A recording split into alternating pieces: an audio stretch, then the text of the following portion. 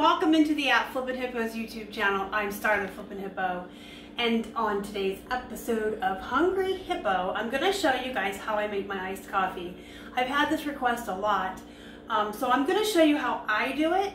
I have experimented with the ratio of ice cubes to coffee um, probably for like a year until I perfected it for my taste. So I'm gonna show you how I do it, and then when you do it at home to recreate it, you may have to experiment a little bit, maybe more ice or less ice, depending on how strong you like your iced coffees. I also, I am a really big fan of really, really strong coffee. So we use this Intense Bold by Maxwell House. This is a pretty inexpensive coffee. In fact, most times when it's on sale, it's actually cheaper than the store brand. Um, and they have, you know, wide varieties from breakfast blend, which is really a kind of like a wheat coffee. They have decaf if you don't like caffeine. Um, and they have it all the way up to this intense bold. But Keith and I really, really like strong, strong coffee. So we use this. Um, we do have a Keurig, but we don't use the pods. Obviously, we use coffee. We buy these little baskets.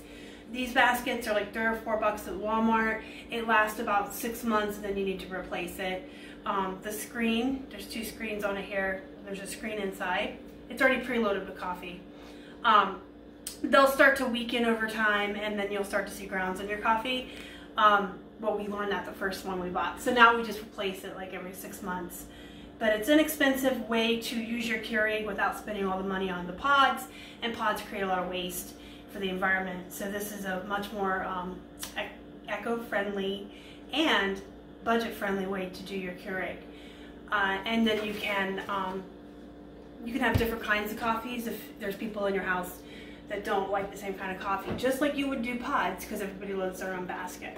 All right, so what I have found in my experimentation over the years, um, because I like strong coffee, the perfect ratio for me is six to eight ice cubes, and then I use the smallest cup of coffee on the Keurig. You guys that have Keurigs are familiar. You have small, medium, and large. Um, I say six to eight ice cubes because even up to eight, it still tastes good to me. And I do like a lot of ice in my drinks. What happens is this melts a lot of the ice. So if you only put six, you're gonna end up with a really cold coffee, but not so much ice left over. And if you put eight cubes, you'll have cold coffee with some ice left over um, and it's still strong enough. So I use the small one because as it melts the ice, it makes more water, which makes it not as strong. Um, and then Keith and I buy Carnation International Delight. Honestly, we buy whatever's on sale. We don't have a particular flavor, like some people have one flavor they buy all the time whatever's on sale at the store and then we experiment. We buy different flavors every week at any given time actually in our fridge. We have like four bottles of different flavors. Um, but every week at the store we'll buy another flavor or two. Just whatever's on sale. Um, I do like hazelnut. I actually like all the flavors. I'm not too particularly picky. I just like flavor in my coffee.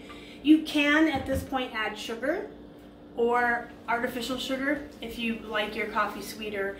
I don't. I like it strong and I like just a hint of flavor and sweetness in mine. So I don't add sugar or artificial sweetener, but if you do, this is when you want to add it. Just right on top, sprinkle it in over your ice. This will take care of melting it. And add as much creamer as you like. You can always add more at the end. So then I just push that little small button it's kind of cool to watch too because it'll mix with the cream. It's kind of pretty.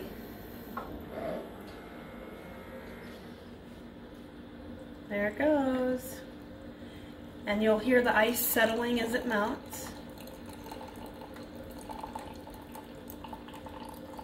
This is a nice alternative to uh, going out and paying for iced coffees. You guys know that Dunkin' Donuts, Starbucks, places like that, it can be four to five dollars for an iced coffee. And even if you go to places like Circle K or Sheetz, anywhere like that, it can still be like two bucks a pop. And Keith and I love coffee. We drink a lot of coffee, so um, I think that this is a, a nice budget-friendly way for us to have one or two iced coffees a day without spending all of our hard-earned money on it. And then I just stir with my straw.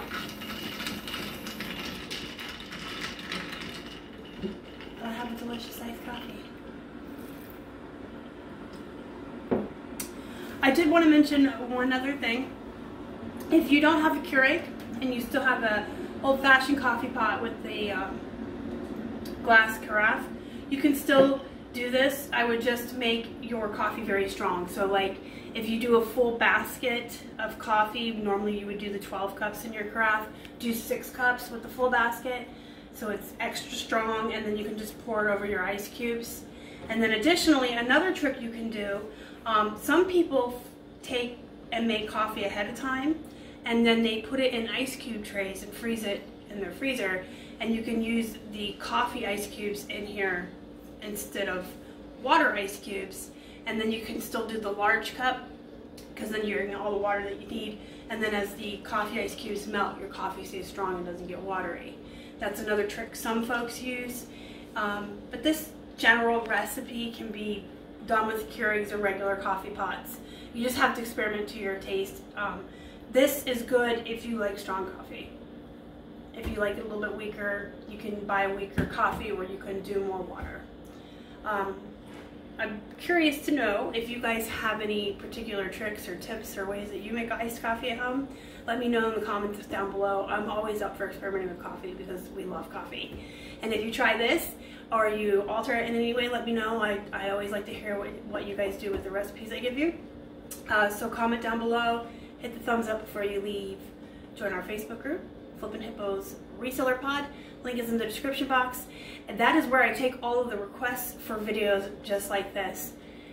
If you haven't already and you'd like to, please subscribe to our channel and help us feed a hungry hippo. And you can find me on Instagram, Facebook, and Twitter. I'm at, hippo, at Flippin' Hippos across all social media.